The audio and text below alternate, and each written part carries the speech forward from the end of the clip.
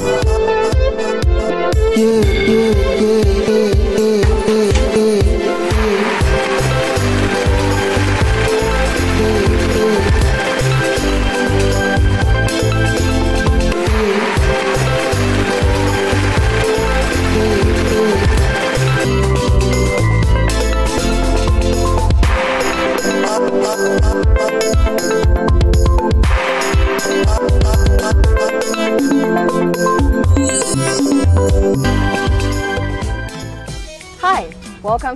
Citi Scape on Citi TV. My name is Apiorkor and I'm here with it. Queen Emma.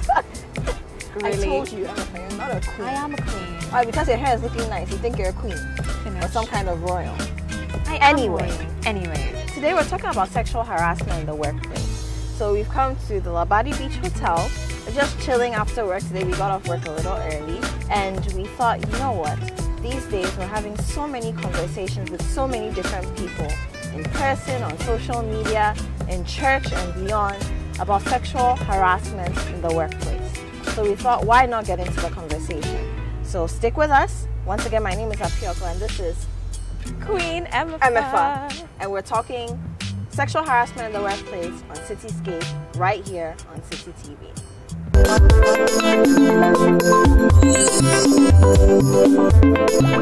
Welcome back. This is Citi Scape on Citi TV. Once again, my name is Apiorkor, the one and only. And once again, I am Her Royal Highness Queen Emma. Thank you very much. what a waste of airtime, you know. Don't talk about yourself like that.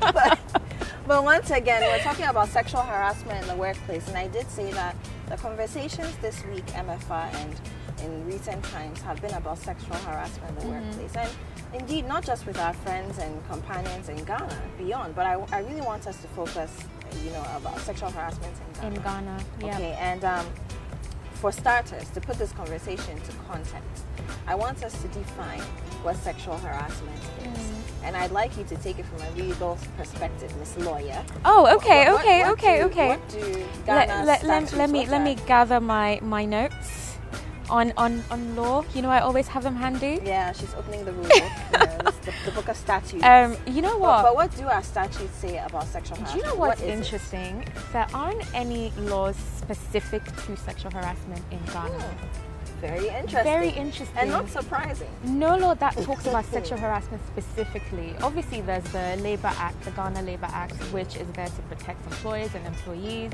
and it touches on sexual harassment. And it, it interprets sexual harassment as part of another legal course, issue, right. unfortunately. So it talks about, oh, here it is. Um, it's any unwelcome or offensive or importunate sexual advances or requests made by an employer or a superior officer or a co-worker, whether the worker is a man or a woman. And this is under the interpretation, this is under section 175. And I found that rather interesting. Of, of which act or which code? Of oh sorry of the Ghana Labour Act. Okay, so this is within the 2003. Ghana This Labour is Act within the Ghana Labour Act exactly, and Okay. it goes it's between layers as well, whether you're a superior or between co-workers as well. Because a lot of people think that it's only when a superior, superior, right. comes on to someone who's um, not not inferior but below them in the Right, rankings. right, yeah, and other laws also touch on sexual harassment. Um, the the criminal code also Okay. Act, Act 29 talks about indecent assault, which could also be linked to sexual harassment. I believe that's in section 103. Is that it? Um, yes, for anybody section who wanted to check. Yes, So section the criminal 103. code, Act, um, Act twen- 29, section 103, where it talks about indecent assault. But that's more to do with um, penetration, carnal knowledge.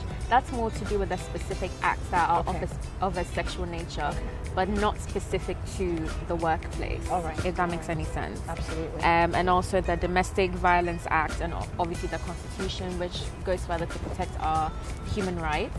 But it was just very interesting to see that no laws were very specific to sexual harassment or dealing with sexual harassment for that matter. Um, but yeah, I think that that's one of the major problems. And, and like I'm saying, I'm, I'm not surprised because on a daily basis we hear even even rape people are getting away with it.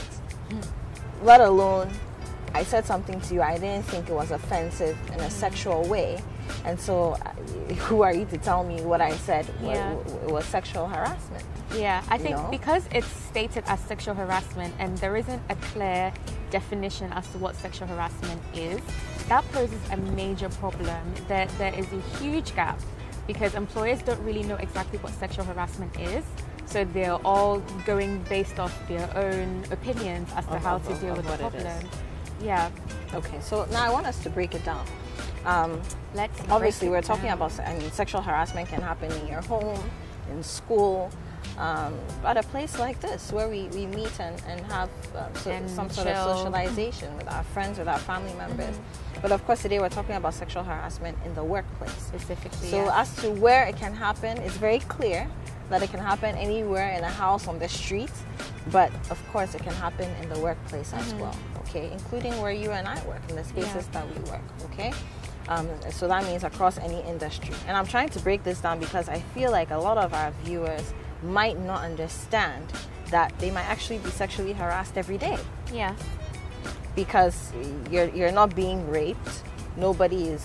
There's no, um, you know, carnal knowledge or penetration anywhere. Nothing that's explicitly sexual, and so you might feel as though you're actually not being sexual, sexu- sexually harassed. You might be oblivious to it, and so that's why I'm trying to break it down. So it can happen in your workplace. Okay. Oh, you're smart. Oh, Oh, you've seen a few so- of those cases, seen, haven't you? Seen or experienced. Story for another day. You know. But um, you know what? I'm so grateful for. It's unfortunate, but I'm grateful for the rise of the Me Too movement and this and all the discourse on sexual harassment because it's been going on for a very long time, Extremely. but we haven't been And all over the world. and all over the world, and we've not had an opportunity to really articulate what it is that amounts to sexual harassment. Because someone might make you feel uncomfortable, and you might not necessarily know how to define what you're feeling. But I'm so glad that now we're we're able to have the conversation to put it under the umbrella of sexual harassment. And I mean, going back to the conversation about sexual harassment in the workplace, people always think it has to happen in your office. Mm, mm. It doesn't always just have to happen in your office. It obviously that's the major point of call. Because when you talk about the workplace, you're you think thinking about a your roof, office, where your desk is, where your four computer corners is. of, of your workplace. Yeah. but it also goes on at conferences, even wherever work is is being done. At business a, At, a business meeting, for example. lunch, dinner. And and also, well, the ILO points out that it doesn't necessarily happen in the workplace. It, it can also happen between colleagues, but outside the workplace, because that is where your first point of interaction was. Was, So right. that is also workplace sexual harassment because it carries on into your yeah, workplace. because if I didn't meet you in the office, I probably never would have been at that party that our office made through with you. Exactly. I probably never would have met you and said hello at Labadi Beach Hotel. yeah, You know, things and then like it that. carries on into your your day to day lives.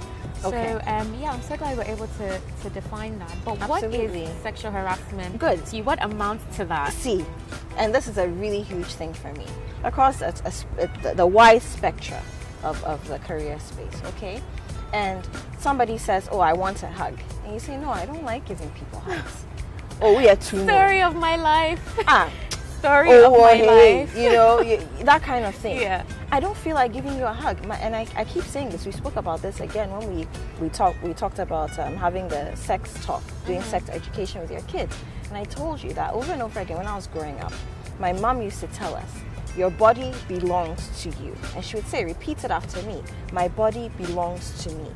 Even if mommy and daddy are touching you in a way that makes you feel remotely uncomfortable, you have the right to say, I'm uncomfortable. Mm-hmm. So if we're in the workplace, I don't know you, we didn't come from the same house, you don't feed me, not the one paying my, well, in some cases we talk about paying salary, but I'm just speaking on a daily basis when you're having general interactions with the people you work with who are probably on the same tier as you uh, as far as the, the, the, the ladder is concerned, the corporate ladder is concerned.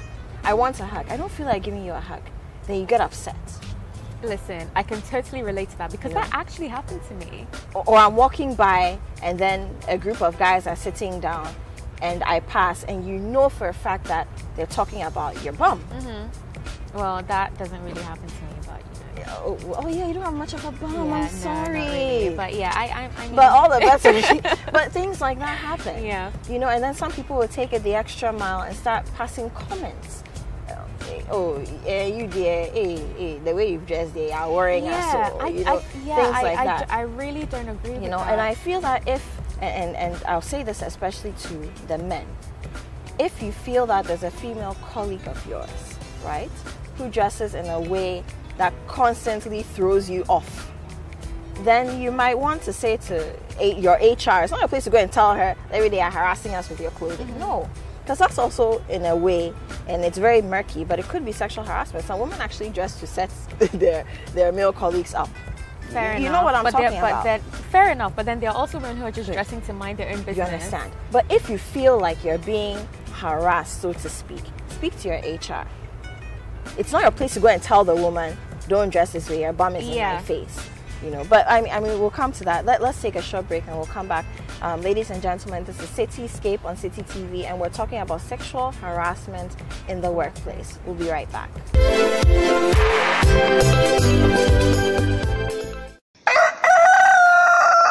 We spice up your mornings with culturally enriched conversations, social interviews, and policy oriented discussions that will keep you updated on the progress of the nation. those security guys who were supposed to protect them, I'm sure by now somebody must have, have all of them arrested. Hmm. They must all be arrested because it's an unprovoked attack. Join the Breakfast Daily team Monday through Fridays from 7:30 a.m. to 10. Let your voice be heard with the hashtag Breakfast Daily. Join us for breakfast daily, only on Citi TV.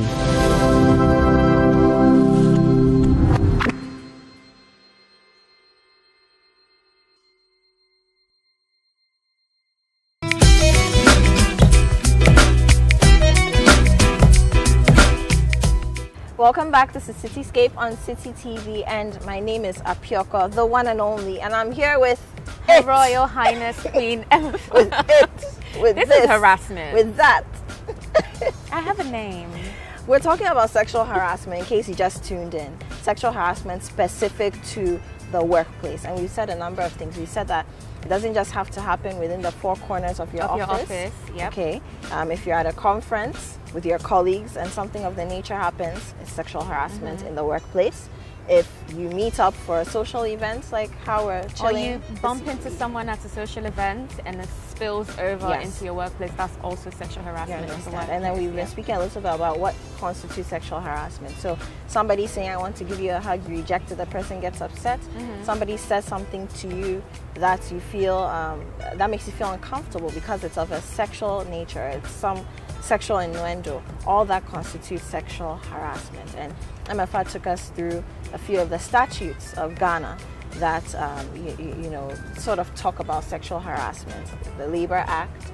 We also the looked at the criminal criminal code. code. Okay, but I just want to um, finalize it by saying that um, we are very communal people. You know, so we like to believe. You know, so we like to believe. So it, sometimes Dropping all these truth bombs today, you know, Apiorkor. but, but it's true. So we like to believe. We, we say we're a communal society, and again, a conversation for another day. Mm. But sometimes when it matters the most, we're not. But we say we're a very communal society, or we are a very communal society. And so because of that, certain things like, oh, you meet your boss on the staircase and then he or she gives you a hug is okay. But we should be mindful of red flags. Mm-hmm. If somebody is lingering, gives you a hug and is still holding on to your waist and it's slipping, the hand is slipping a little Yeah. lower. Somebody is holding your hand Exactly. for a little Someone's too long. holding your hand for a little too long, asking know. you to come visit them at home on weekends and things when like that that. shouldn't be the case. When you have no business to discuss. And then gets upset when you don't. All these little things constitute sexual harassment, especially if it makes you feel uncomfortable, it makes you question the act or the, the suggestion, Mm-hmm. okay? And then um, I, I think we just need to be very careful about some of these things. Because Yes. our culture in itself breeds sexual harassment in the workplace, especially. And then lastly, um, should we be talking more about it? Oh, definitely. that we don't talk about it enough because there's so many grey areas. I mean, I'm sure some people don't know that rubbing someone's shoulders or touching their waist or holding their hand for too long when you're really not that close I'm sure that a lot of is people a form of who, who sexual didn't harassment. realize that. Yeah, I think we really need to, you know, talk about it and talk about different experiences and different instances where sexual harassment is prevalent. So yeah, I think we should be having this conversation all the time and about how to handle it. No means no. Saying it to the person's face, maybe coming off a bit aggressive. I don't know. That's that's how I deal with it. And I always make sure people understand that I have a bubble. I don't care who you are, male or female. I don't like to be touched unnecessarily. I always say to people, my ears work just fine. You don't have to touch me to get my attention. And people might find that as rude, but I'm just protecting my space and protecting myself. Yeah, because we're your rights and someone else's beginning. Exactly, exactly. Okay. Yeah. Um, I mean, yes, we, we, we're, we're going to move on, um, but I just want to say that sexual harassment has caused terrible, terrible psychological issues for people. There are people who go to work every day and unhappy, not because they don't enjoy their jobs or they don't like the people they work with, but because they're being sexually harassed and Yeah. they don't know how to talk about it, which is the reason why we need to be talking about it. People need to understand that they're not the only ones going through it, and so it's something that needs to be discussed. It's something that we need to be putting at some point to Parliament, mm-hmm. so we, we can be passing more sexual harassment specific laws and statutes that can protect each and every one of us. And, and, and lastly, I will say that if you are being sexually harassed, perhaps you're hearing what we're saying today, you're going to read more about it, and you realize that, oh, snap, all this while I've been sexually harassed and I need to do something about it. Please speak to a psychologist, a therapist. You can reach out to us on any of our social media handles. It's CitiTVGH. Um, MFI and I both on social media, Twitter, Instagram, Facebook, wherever. Just make sure you get some help, you get audience, and you address the problem so that it doesn't become something deeper for you. Um, you're still watching Citi Scape on Citi TV. The show continues. What are your opinions? Join the conversation on social media with the hashtags CitiScape and MyScape, and via the handle at CitiScapeGH as well on Instagram.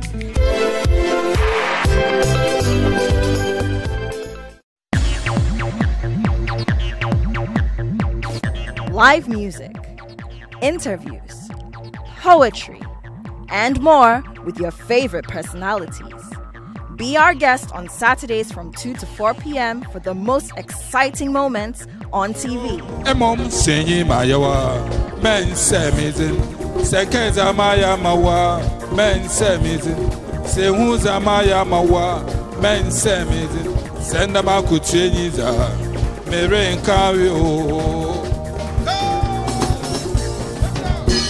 Join Kojo Akoto Boateng for real entertainment right in your living room.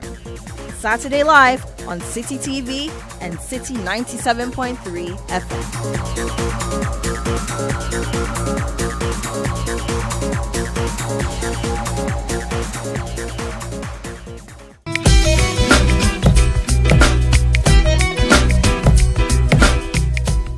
Now let's find out what's new in the city.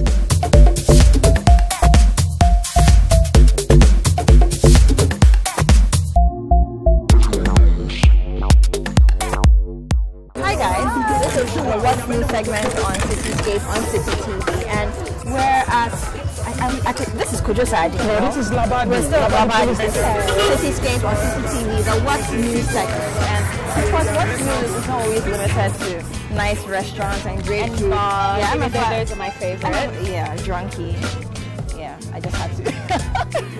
but we're at the around the Labadi police station. So In a Labadi location. Very coded, very coded. Angaji. Ah, you know. and there's this wall behind us. And um, you know, in one of our episodes we, we talked about personal style. In Def Art Studios, and we told you that Def is an amazing graffiti artist. So today we're here to experience the graffiti. We'll be getting into it with him. seem to no, no, it's, uh, it's crazy. but Like, like, yeah. just look at that. Just look at Just that. look- look just look at that. Just look at is. that. Def, Def, Def. Can we try? Yeah, you can try. Okay, so what should, what should we do? Okay. You see, I'm blending. Yes.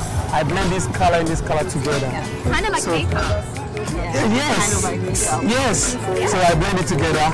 So when I get here, I make sure it's faint. You understand? Oh, so it's all in the wrist. Yes. So it can blend to this. Okay. Uh-huh. So, So you blend okay. and then keep pressing, don't stop pressing.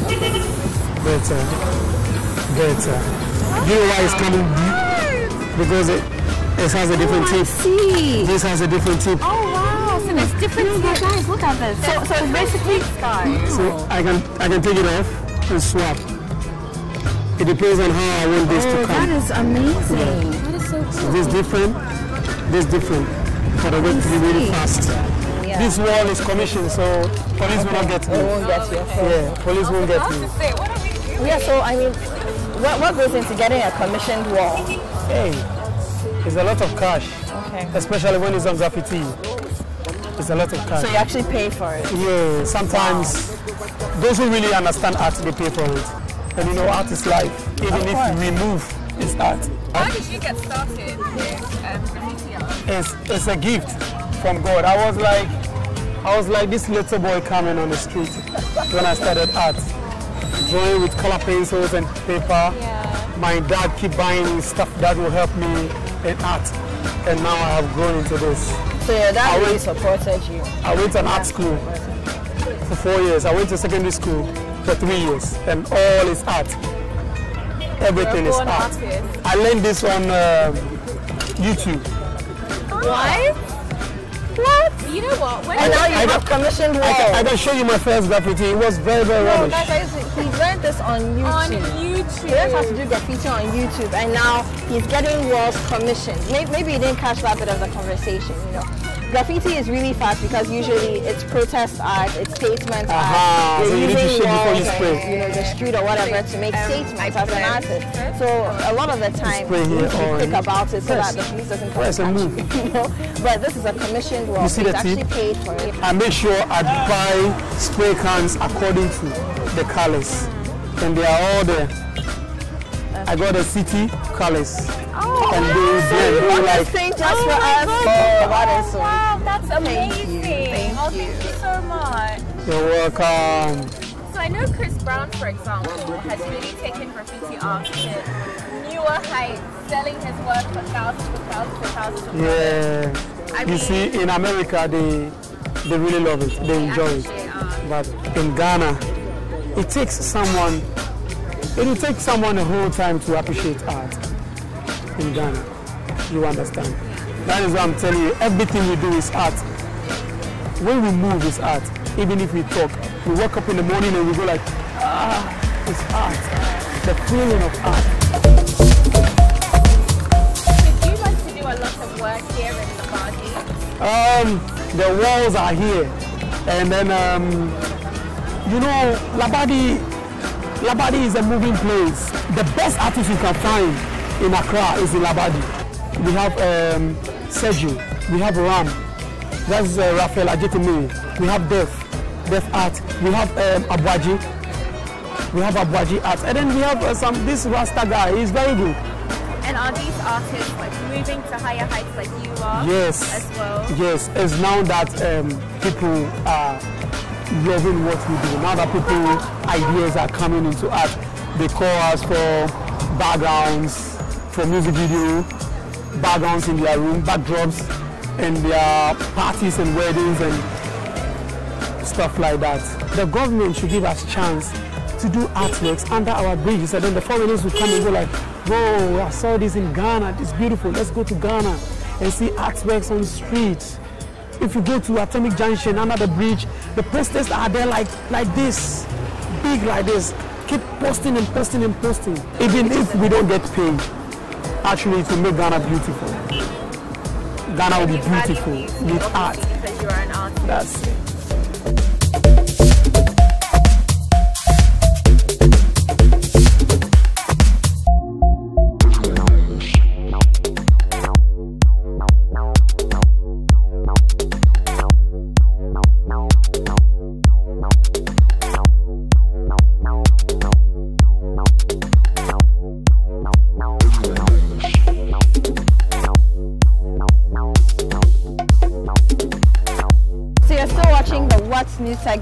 Citi TV, and this is Citi Scape. And oh man, like look look at this. Listen, Look at this. this is everything. Def. No, you know when when we said we would come to you first to your studio and then come experience the art with you because we were look we did some of this. We, look, our, our names are there. We did some of this. Yeah. But even when we started, I didn't imagine it would look like this. What is this? Explain this to us. Ah, that is graffiti. When you start, you will know, but when you keep going and uh, the end part, you see how it is. It's so beautiful, so nice. This is amazing. And and I, I know on the other wall, just over there, um, one of your colleagues is doing a mural. Yeah. Um, guys, what it is is it's Kung Fu Panda, right? Says And he's kicking tramadol. He's Kung Fu tramadol out Yeah. of Labadi. And this is a way to educate the youth of Labadi. And for me, this is what art is. It's about educating, it's about informing, entertaining to having fun, because this is a lot Yeah, of fun. it but was at a the lot same of fun, time, but very you know, because right now what you've done is you've advertised Citi TV. Anybody who doesn't know that the Citi TV now knows Knows. it. And there's Citi Scape and there's someone called Appeal or someone called MFR. It's, it's crazy. Yeah. So what does it take to train someone to do? uh, you, you, if if you have the skills already, and um, uh, you need more, you need to train more because art, you need to get close to someone who really knows much more than you do. Learn something from the person, and the person also learn something from you. That is art. So if you are you are an upcoming artist, you want to learn more, you can get close to someone who is good nearby you to teach you art. And, and Jeff, I'm looking at this bike right now. This is your work. Yeah, so that's it's not, my so work. graffiti is not just about walls, guys. I How long did it take you to do this? It, it took me three days in doing this. I know you have a strong message for the government. Ghanaian prisons are not beautiful. we don't want to go there. We don't want to do like artwork under the bridges and then the government will go like, I am going to arrest this boy for this. I will arrest this boy for this. No, we, we just want approval from them before we step in. And when we step in, they will see the difference between posters under bridges and artworks under bridges. right. And it's going to make Ghana beautiful. Yeah. It's going to make foreigners, it's going to allow foreigners to come like they would like coming to Ghana. Charlie, artwork is beautiful. Government, please, we beg you guys. Just give us a chance to express ourselves. So we're appealing to our leaders, engage our artists. There's so much you can. I mean, look at this. It's it's fabulous work from somebody made in Ghana. This can be the difference. So let's support our young people by giving them projects like beautifying the city. Def, thank you so much. Yeah, Awesome. honestly, We'll Def, be thank back. you so much for allowing me to be a part of such beautiful art. I would never forget Good, good students. Thank you. Good students. cheers, cheers, cheers, cheers. Cheers, MTN Spray Can. It's called MTN Spray Can. 94 Thank you. by Acrylex. Yeah, It's But, su- yeah. amazing. Acrylex is the only company that will bring this to Ghana. Cheers to my spray can. Hi, Apiorkor here. I'm back again. And if you're the type of person who doesn't like to spend too much money on detergents, but your toilet bowl is always dirty, this tip is for you. Get some Coke, some Coca-Cola, right? Pour it into your toilet bowl, leave it overnight. In the morning, take any kind of soap you want, make some soapy water, pour it into the bowl, wash it down, and flush it clean. Easy peasy. So instead of drinking all the Coke in your fridge, pour it into your toilet bowl and have a clean toilet. This has been a Citi Scape life hack from me to you.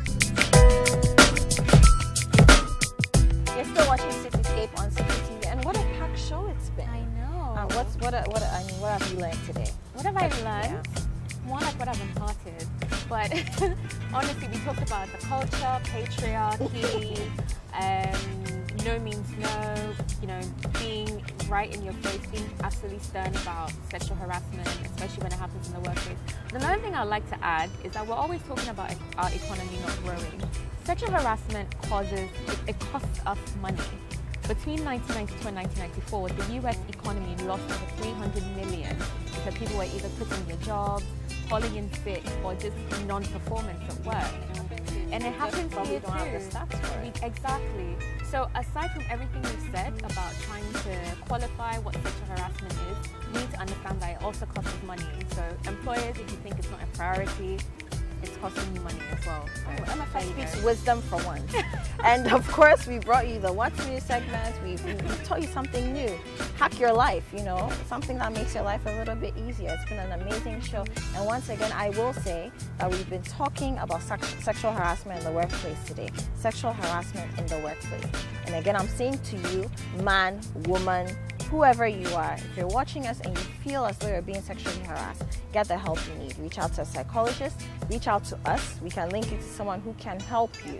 So at least you have a listening ear that can help you rise above this thing called sexual harassment that can break you forever and ever. So work and work happy is very important. And of course, this has been Citi Scape on Citi TV. My name is Apiorkor. And I'm Queen Emma. It. See you next time. See ya.